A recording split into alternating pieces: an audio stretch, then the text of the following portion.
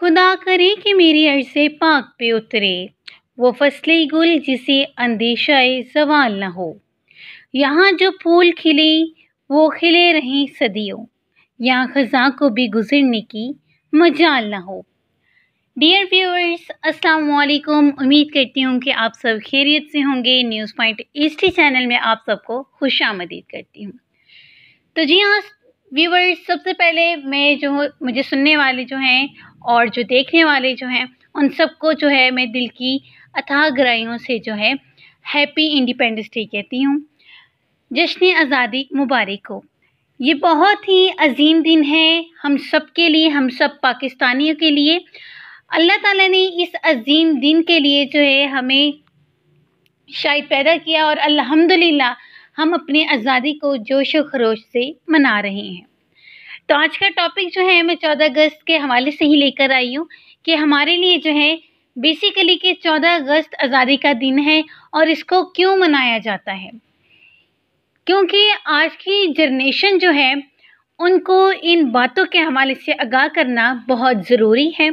क्योंकि अगर देखा जाए, पहले भी जो है, बहुत सारे जो हैं, लोगों को जो है, पता है कि चौदह अगस्त जो है क्यों मनाई जाती है, किस लिए मनाई जाती है तो उनके नॉलेज को जो है इंक्रीज़ करने के लिए जो है, आज जो है, ये स्पेशल टॉपिक लेकर आई हूँ इंडिपेंडेंस डे ऑफ़ पाकिस्तान तो जी हाँ व्यूअर्स जो है, अपने टॉपिक का जो है, आगाज़ करते हैं कि चौदह अगस्त का दिन जो है, वो कितना जो है इंपॉर्टेंट है हमारे लिए और आप सबके लिए.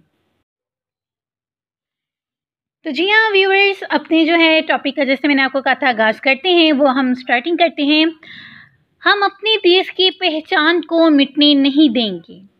हम अपने देश की पहचान को मिटने नहीं देंगे। यहाँ इस्लाम का परचम कभी झुकने नहीं देंगे। तो जी हाँ चौदह अगस्त जो है, उन्नीस सौ सैंतालीस को जो है, पाकिस्तान को जो है, आज़ादी हासिल हुई थी अंग्रेज़ों से। पाकिस्तान हमारा प्यारा मुल्क है और इसको हासिल करने के लिए पाकिस्तान के हर मुसलमान ने बहुत बड़ी कुर्बानियाँ जो हैं वो दी हैं इस मुल्क को हासिल करने के लिए। इसलिए इसके अहम जो है इस अहम दिन को जो है हम बड़े जोश खरोश से मनाते हैं। इन दिनों में योम आज़ादी अहम तरीन दिन है। पाकिस्तान बनने से पहले पूरे बरासगीर जो है तकरीबन सौ साल तक अंग्रेज़ों का कब्ज़ा रहा। अंग्रेज़ों के कब्ज़े पर पहले बरसगीर पर मुसलमानों की हुकूमत थी अंग्रेज़ों से आज़ादी हासिल करने के लिए मुसलमान मुसलसल कोशिश करते रहे। अल्लाह ताला मेहनत का फल ज़रूर देते हैं, जैसे कि आप सबको पता है, जैसे हम कहते हैं कि सब्र का फल जो है वो मीठा होता है।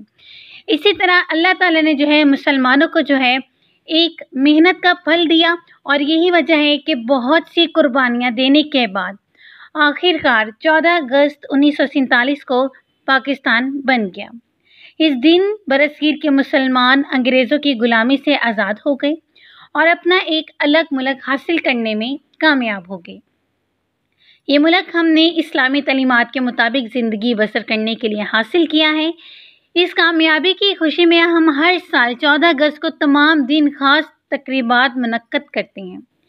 इन जो है, इन बुज़ुर्गों की कोशिश की याद ताज़ा करते हैं कि हमारे बुज़ुर्गों ने, बच्चों ने और हमारी कई जो हैं, औरतों ने कुर्बानियाँ दी हैं इस वतन को हासिल करने के लिए। अगर हम अपने माजी की तरफ़ चलें तो देखने में आता है कि बच्चा, बूढ़ा, औरत सबको जो है, उन्होंने अपनी जानों की जो है कुर्बानी दी और उनके खून को जो है जो है बहाया गया उनके खून को। बहुत ही दर्दनाक तरीके से जो है उनको शहीद किया गया कई बच्चों को जो है मजदूर किया गया, बुज़ुर्गों को जो है मजदूर कर दिया गया, कई लाखों औरतों की जो है इज़्ज़त को पामाल कर दिया गया। और जो कुछ औरतें बची थी, उन्होंने, सिखों ने जो है उन पर जो, उनको जो है अगवा कर लिया था, ताकर जो है पाकिस्तान को जो है इतताही से मुश्किल का सामना करना पड़े और वो कभी पाकिस्तान हमारा मुल्क आज़ाद ही ना हो सके। लेकिन दुश्मन ये भूल चुका था क्योंकि अल्लाह ताला का फ़ैसला अटल था और अल्लाह ताला ने जो है मुसलमानों की दवा कबूल जो है वो कर ली थी। सताईस रमज़ानुल मुबारक, चौदह अगस्त उन्नीस सौ सैंतालीस को अल्लाह ताला ने जो है मुसलमानों को आज़ादी नसीब फरमाई थी और मुसलमानों के लिए एक बहुत बड़ा एजाज़ है कि उनको जो है एक जुदा गाना जो है अपनी हैसियत मिली और वो जो है दुनिया में सबसे मुकाबला करने के काबिल हो गए। अल्लाह ताला ऐसे ही मुसलमानों को जो है ज़िंदगी के हर मौके पर डट कर मुकाबला करने की तोफ़ी अनायत फरमाए। और दूसरी बात मैं ये कहना चाहूँगी हमारी न्यू जनरेशन जो है, ये आजकल जो है चौदह अगस्त को जो है जोश खरोश से अल्हम्दुलिल्लाह मना रही है। लेकिन वो अपनी माजी की हिस्ट्री को याद रखें कि अल्लाह ताला हमारे जो बुज़ुर्ग हैं, हमारे जो जो है, आप ये कह लें कि बच्चे हैं, जवान औरतें, मर्द जो हैं, जिन्होंने कुर्बानी दी, उन शहदा की अल्लाह मगफ़रत फरमाए, उनके दर्जात बुलंद फरमाए, और ताकर हमें हर चौदह अगस्त के दिन कुर्बानियों को याद रखना चाहिए, और अल्लाह के हजूर उनके लिए जो है, उनकी मगफ़रत के लिए दुआ जो है, करनी चाहिए। मेरी दुआ है कि अल्लाह ताला जो है, पाकिस्तान को हमेशा ज़िंदाबाद रखे और उसकी हैसियत हमेशा बरकरार रखे। कभी भी पाकिस्तान को मुश्किल दरपेश ना आए।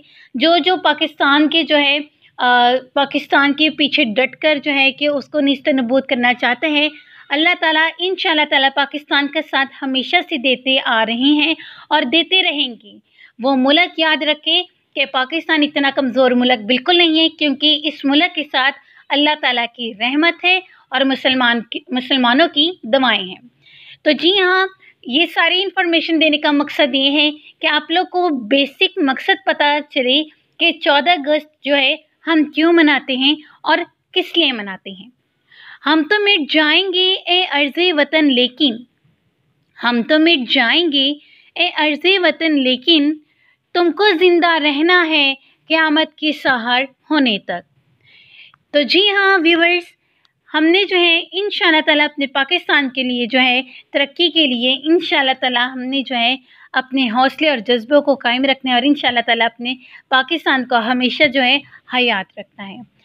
चौदह अगस्त के हवाले से बात करें हैं तो आज जिस मुल्क में हम ज़िंदगी बसर कर रहे हैं, ये सारी मेहनत कायद अजम मोहम्मद अली जना इलामा इकबाल, लियाकत अली खान, चौधरी रहमत अली की मेहनत, जो है, और इनकी लगन की बदौलत से जो है, हमें पाकिस्तान नसीब हुआ, एक अलग मुल्क। अगर कायदे अजम ने इस मुल्क को ना बनाया होता, अगर इलामा इकबाल ने पाकिस्तान का ख्वाब ना देखा होता तो आज हम भी अंग्रेज़ों के जो हैं, ग़ुलाम होते और इनके जुल्म और सितम का निशाना बन रहे होते।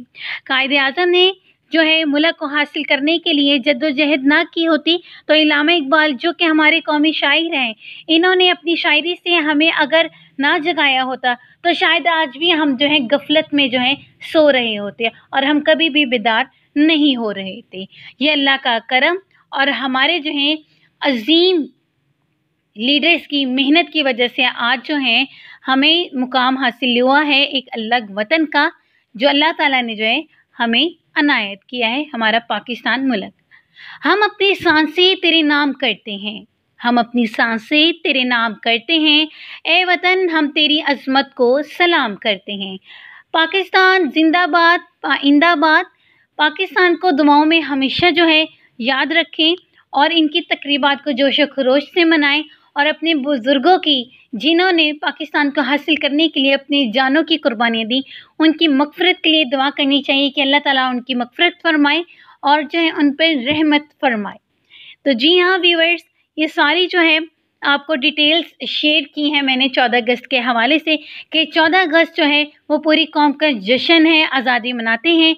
चौदह अगस्त उन्नीस सौ सैंतालीस को जैसे मैंने आपको बताया, हम अंग्रेज़ों की ग़ुलामी से आज़ाद हुए थे, लेकिन जश्न मनाने वाली आज़ादी की जो है, तरीफ से ही ना आशना है। इन ग़ुलामों को जो है, पता ही नहीं कि आज़ाद जो है, किसे कहते हैं। बेसिकली जो है शख्स और जो है कौम जिस पर अल्लाह ताला के अलावा किसी और का हुक्म ना चलता हो, जो अल्लाह के सिवा किसी और के आगे ना झुकती हो यह आज़ादी का जश्न मनाने वाले हज़ारों नहीं, लाखों के सामने झुकते हैं। इन्हें जश्न आज़ादी मनाने का हक किसने जो है दिया? ये सारी जो तगदोएँ हमारे बुज़ुर्गों ने की अल्लाह की रहमत की वजह से जो है हमें आज़ादी नसीब हुई। और यही बात है कि अल्लाह ताला जो है हमेशा हम मुसलमानों का साथ दें, हमें हदायत दें, हमें सरात मुस्तकीम पर चलने की तौफीक नायत फरमाएँ और अल्लाह की शुक्रगुजारी हम करते करते इस दुनिया से जो है जा, चले जाएँ। लेकिन हम अपना अल्लाह ताला के आगे हक अदा ना कर सकें। अल्लाह ताला से हम इतनी जो है पाकिस्तान के लिए दुआएँ करें कि अल्लाह ताला हमारे पाकिस्तान वतन को हमेशा हयात, सलामत रखें। आमीन सुमामीन इसके साथ ही मैं जो है इख्तिताम करती हूँ अपनी इस वीडियो का। वो मैं आपको जो है बहुत भरपूर और जोश खरोश तरीके से करूँगी क्योंकि आप लोग भी बेदार हो जाएँ, अपने जो है सोशल मीडिया वगैरह से, अपनी रैंकिंग से बाहर आ जाएँ और अपनी असल ज़िंदगी